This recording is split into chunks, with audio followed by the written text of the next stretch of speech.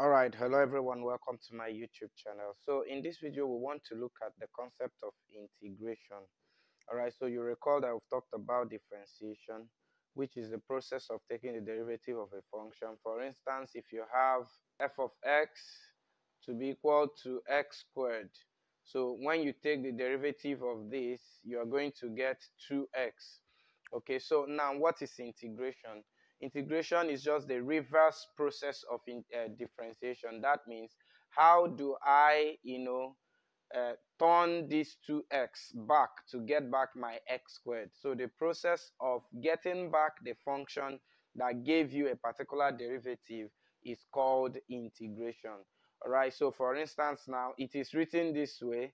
So if I want to now get back the function here, x squared, that gave me this 2x, so I will write it this way, the integral of 2x with respect to x. Remember, you differentiated it with respect to x. So if you want to get back your function, you would have to integrate with respect to x. Where this sign here is the integral sign.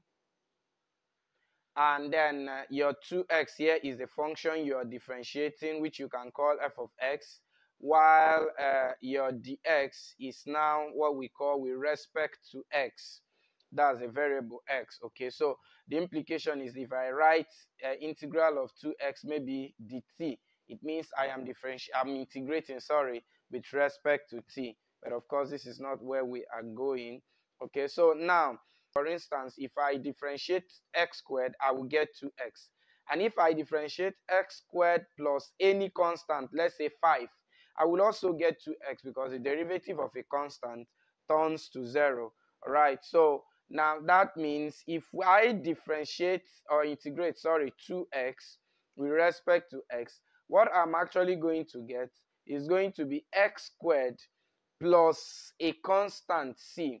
So we call this constant an arbitrary constant. We don't know what the constant is. And so we just represented, we represent it with what? An arbitrary value c. Okay, so this type of integration is called indefinite integration. Okay, so and when you now know the value of your constant, or when you are asked to find the exact value of your integration, we call that what? Uh, definite integration. And when we want to get the value of c, we are giving some some value, some extra information. For instance, I can ask you, or one can ask you to integrate y equal to x squared uh, where you have y of 0 to be equal to, let's say, 3. This thing means that your y is equal to 3 when x is equal to x is equal to 0, sorry. Okay, so that's another way to write this. Okay, so now to do that, after you have done your differentiation, you remember, sorry, your integration, you remember that after you do this integration, you're getting back your function, which is y. So this thing actually means that y is equal to x squared plus c. And so if you now want to get your c, you are going to use this further information given here.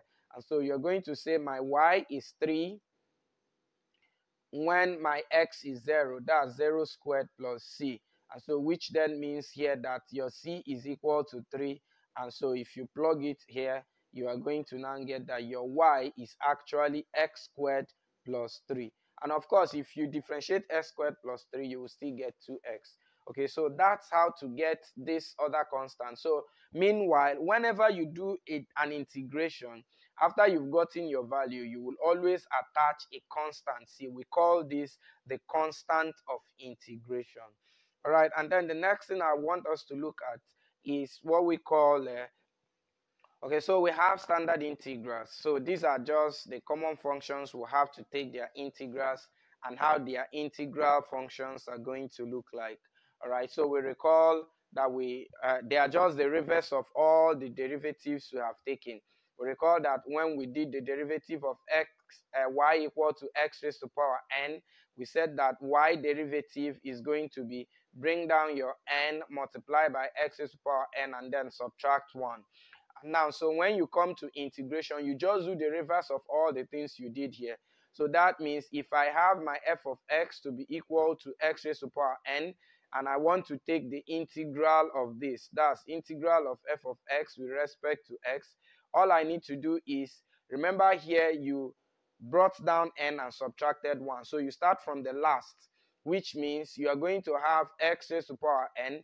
You will add back 1 and then divide by the new for the new power. So all of this is just to take the reverse of the process we did and that's how this formula was gotten. And recall I said at the end of your integration, you will attach your constant what? C. All right. And then what about the second one? Recall we said that uh, when you have a constant, for example, your f of x is a constant and you want to integrate it. So if you have the, this, what it means is that this is actually the same thing as uh, ax raised to power 0. So when you do what you are asked to do here, which means you should add 1 to the power, which is 0 plus 1, and then divide by the new power, which is 1. You're actually going to get what? ax. And then you add your what? c. And then what about the trig functions? All right, so for sine, you recall that the derivative of cos is uh, given as uh, minus sine x. Okay, so if you want to now get the integral, all you need to do is to now take the integral of that minus sine x. And remember I said that integral is the opposite. So what it means is that integral of minus sine x is going to give you cos x. Now, but you recall that I said that just as in differentiation, you can actually bring out this minus sign. And if I bring out the minus sign, I'm going to have minus integral of sine x with respect to x to be equal to cos x. Okay, so if you now divide both sides by sine x, sorry, by minus, you now have the that the integral of sine x with respect to x alone is now equal to minus cos x and of course you attach your plus c so that's how this was actually gotten and then to get this other one recall that the derivative of sine x is actually equal to uh, cos x. And so if you take the integral it will still give you back sine x. And that's how we have this. You just attach your x. Okay and then what about that of uh, uh, example 7 here, that's the standard integral there. Let's come from the derivative. You recall that when you differentiate a raised to power x, if you take the derivative of this with respect to x, that you are going to get a raised to power x multiplied by the ln of a. All right, so now the implication is that if I take the integral of this, that is a raised to power x with rest uh, times ln a with respect to x, I should get back my a raised to power x because it is just the reverse. And so it is actually from here that we got the integral of a raised to power x. And how did we do that? You recall that ln a is actually a constant, just as I said here, minus 1. And so I can actually bring out my ln a out of the integral sign. And so I will have the integral of x raised a raised to power x to be equal to a raised to power x. And so if I now divide both sides, if I divide both sides by ln A, uh, ln A here, of course, this will take away this. That's how I'm going to get that the integral of a raised to power x with respect to x is actually equal to a raised to power x all over ln A. Okay, so that's how we got this. And of course, you add your what? Your x. And then finally, you recall that the derivative of the ln of x gave us 1 over x. And so if you take the integral, you will get back your ln x. All right, so quickly we're going to look at some examples. Now here says that we should find, or sorry, we should determine the following integrals. And so the first one here is the integral of 14x raised to power 6 with respect to x. Okay, so remember what I said, your 14 is going to come out and so you are just integrating x raised to power 6 with respect to x and that is surely going to give you 14 now multiplying by the formula of integration you are going to have x raised to power 6 plus 1 which is actually 7 so let me just do it that way. Plus 1 is 7 all over the new power and the new power now is 7 and then you close here plus your c. Of course, you, uh, from here now, 2, 7 will take away this to give you 2. And so your final answer is 2x raised to power 7 plus constant c. And then here we have uh, for the second one, we're asked to integrate this. So when you have, the, so you are going to have 3. And of course, when you integrate e raised to power x, you still get e raised to power x. And that is plus c. That's the solution there. And then for example C, we have that we should find the integral of 5 all over x with respect to x. So what's that going to give us? And of course, this is the same thing as 5 integral of 1 over x. Why did I do this? Because I know by standard integral, there is a value for the integral of 1 over x. And that's going to give me now 5. What's the integral of 1 over x? We said that it is equal to what? The ln of x. And then plus what? Constant c. And that's your solution. So I would like to do the one of d somewhere here. All right. So what do what are we going to have? Your 2 is also going to come out. And so you integrate sine x. When you integrate sine x, you recall we said is going to give you minus cos x. And that is plus your constant c, which is equal to, and that is the solution for that. And so if we go over to the next one, okay, and so for example E, all right, so here now you are going to add 1 to the power, which is half plus 1, and that's going to give you 3 over 2. And then you divide by the new power, which is 3 over 2, and that's going to give us, of course, by fraction, this is going to turn upside, and so you are going to have 2 all over 3 x raised to power of 3 over 2 and that is plus your constant c which is your solution. And then for f and that's going to give us of course you will have x raised to power minus 3 plus 1 is minus 2 and so you have all over minus 2 plus c. Okay so and this is your solution to this problem. Right so it is just a kind of a review that we are doing with this section. Subsequently we are going to look at uh, other forms and uh, stronger aspects of uh, integration. All right so finally for example c here sorry g we are told that this is going to be the same thing as 20 raised to the power x all over the ln of 20 and that is plus what? Our constant of integration c. Right, so quickly we go to the next example. Now look at this one here. It says, now this one is a more definite integration. So we are asked to integrate, meaning that we are given more uh, uh, information. The implication is that we will be asked uh, or expected to find the value of C.